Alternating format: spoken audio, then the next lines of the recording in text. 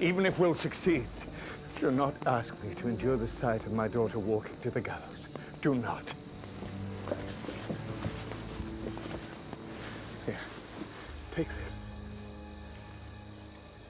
What about you? There are still men loyal to me here. And Beckett is wary of my ties to the crown.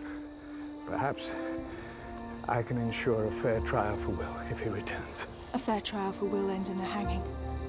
Then there is nothing left for you here.